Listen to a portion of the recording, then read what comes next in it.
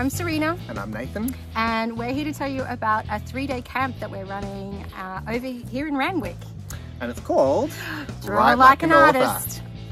Uh, no, it's Draw Like an Artist. Write Like an Author. No, uh, I'm pretty sure it's Draw Like an Artist. Well, the brief that I got was Write Like an Author.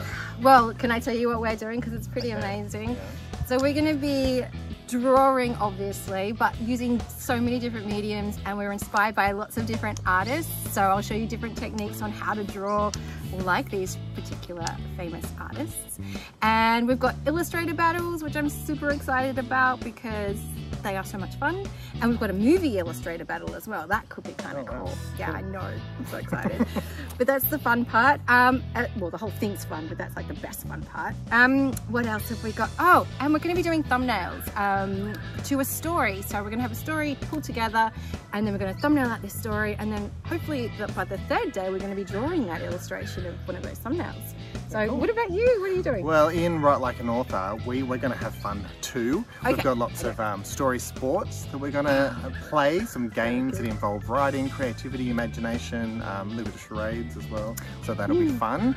Uh, and then what we're going to do is we're going to start looking at how stories are structured. So part of that will be creating these really engaging, beautiful characters yeah. that kids want to write about, and then we're going to torture them. Oh, you're kidding? Yeah, because that's how you create drama. So we're going to make life really ah. hard for these these characters, and hopefully they'll win out in the end. So we'll look at the structure of a story and how we can put all that together. And hopefully at the end of the three days, we'll have this great um, story, or at least the um, backbone of this great story that um, kids can write. So how about how like maybe what you guys could do like could you write us like a like do a little crash course and write us a little a little story that we could thumbnail and then we can use that as the basis of our thumbnail. amazing because one of the greatest things in real life when when I'm writing a book is when an illustrator then brings those characters and you know that world to life. It's so amazing. It's, so yeah. we could do that. Yes. Collaboration. so, yes. And that's what we do for work. We collaborate authors illustrators and authors work together and we write lots of books and uh,